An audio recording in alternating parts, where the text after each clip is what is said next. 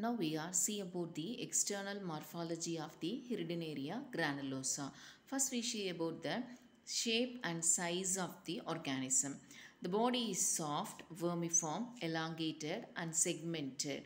Soft means very பஞ்சு மாதிரி இருக்கும் பார்க்குறதுக்கு. மெத்து மெத்துன்னு இருக்கக்கூடியது. Vermiform means they are look like a worms புழுக்கள் மாதிரி இருக்கும். எலாங்கேட்டட் இது நீளமாகக்கூடிய தன்மை உடையது. And segmented all over the body there are number of segments will be present next it become a ribbon shaped when extended அந்த நீளமாக நம்ம இழுக்கும் போது அது எப்படி மாறும் அப்படின்னா ரிப்பன் ஃபார்மில் மாறும். It is cylindrical in contractor அதை சுருக்கும் பொழுது அதனோட உடம்பை சுருக்கிக்கும் பொழுது அது எப்படி இருக்கும் அப்படின்னா சிலிண்டரிக்கல் உருளை வடிவத்தில் இருக்கும்.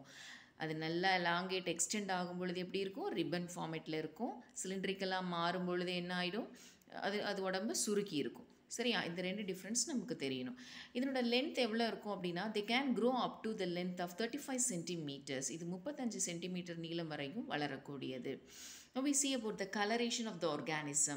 There are two sides of the organism. One is dorsal surface and ventral surface. Dorsal, ventral. இது எப்படி ஈஸியாக ஞாபகம் வச்சுக்கலாம் அப்படின்னா வென்ட்ரல் அப்படின்னா வயிற்று பகுதி அப்படின்னு ஞாபகம் வச்சுக்கணும் வே வி ஃபார் வயிறு சரியா so ventral surface is the அடிப்பகுதி ட்ரோசல் சர்ஃபேஸ் அப்படின்னா முதுகு பகுதி மேல் பகுதி அப்படின்னு சொல்லலாம். ஸோ இப்போ பார்த்தீங்கன்னா இந்த டயக்ராமில் பார்த்தா this is the dorsal view of the organism this is ventral view of the organism இது என்ன பகுதி சொல்லியிருக்கேன்? முதுகு பக்கம் வென்ட்ரல்னா என்னன்னு சொல்லியிருக்கேன்? வயிற்று பக்கம் so now we under easily understand the both the side of the organism so இந்த வென்ட்ரல் சைடு எப்படி இருக்கும்? என்ன கலரில் இருக்கும்? ட்ரோசல் சைடு என்ன கலரில் இருக்கும் அப்படின்னு பார்த்தீங்கன்னா ventral surface is olive green in colour uh, sorry dorsal surface is olive green in color ventral surface is orangey yellow or orangey red in லைட்டாக ஆரஞ்சு எல்லோ ஷேட்லேயோ அல்லது ஆரஞ்சு ரெட் ஷேட்லேயோ அதனோட வயிற்று பகுதி இருக்கும்.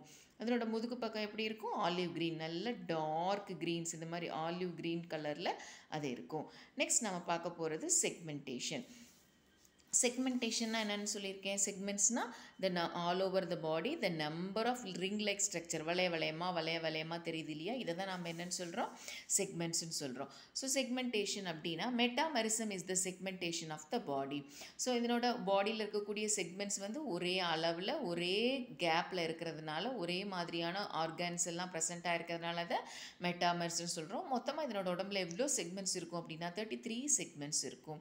Each segments are further superficially subdivided into rings or annuli அப்படின்னா என்ன? ஒவ்வொரு செக்மெண்ட்டும் மறுபடியும் ஃபர்தராக வெளிப்புறமாக அதாவது சூப்பர்ஃபிஷியல் அப்படின்னா உடம்போட மேல் பகுதியில் மட்டுமே அடுத்த வளையங்களை கொண்டிருக்கும். இது பார்த்தீங்கன்னா இது இது ஒரு செக்மெண்ட் இந்த லைட் கலரில் ஒரு லைன் போட்டிருக்கோம் இல்லையா? இந்த லைட் கலரில் இருக்கிறது தான் சூப்பர்ஃபிஷியல் செக்மெண்ட்ஸ் இது நம்ம என்னன்னு சொல்கிறோம் அப்படின்னா ரிங்ஸ் ஆர் ஆனுலை அப்படின்னு சொல்லலாம். இதுக்கு பேர் என்னது? ரிங்ஸ் ஆர் ஆனுலை ஓகேவா ஸோ இதனுடைய ரிச இதில் பார்த்தீங்கன்னா கிளைட்டில்லம் அப்படின்னு ஒரு ரீஜியன் இருக்கும். That clitellum region is formed in nine to eleventh segments இப்படி மேலேருந்து கவுண்ட் பண்ணிக்கிட்டே வந்தோம்னா ஒம்போதுலேருந்து பதினொன்றாவது செக்மெண்ட் வரைக்கும் இருக்கக்கூடிய ஒம்பது பத்து பதினொன்று அந்த மூணு செக்மெண்ட்ஸ்க்கு பேர் தான் என்னது?